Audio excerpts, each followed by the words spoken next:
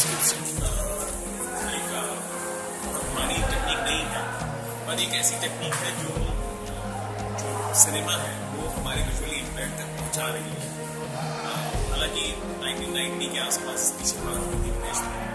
पर 2006 से हम लोगों ने यहाँ पर एक में स्टार्ट किया ब्लैक फ़िल्म के साथ, क्योंकि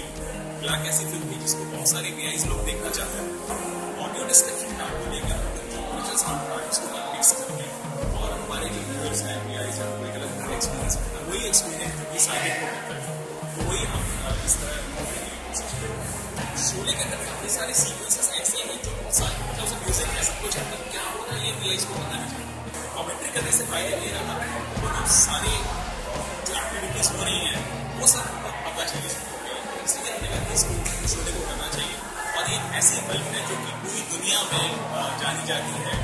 फ़िल्म स्कूल से पढ़ाई जाती है इसके अलावा कई भाषाओं में ये डब हो चुकी है। कुछ अब आएगा मज़ा खेल का।